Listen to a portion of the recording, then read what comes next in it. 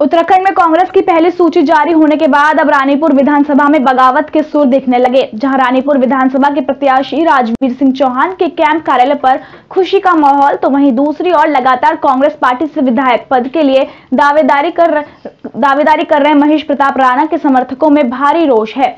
लगातार दावेदारी कर रहे महेश प्रताप राणा के समर्थकों ने कैंप कार्यालय पर रोष प्रकट करते हुए होर्डिंग्स को ढक दिया। टिकट न मिलने से नाराज़ हैं महेश प्रताप राणा के समर्थक।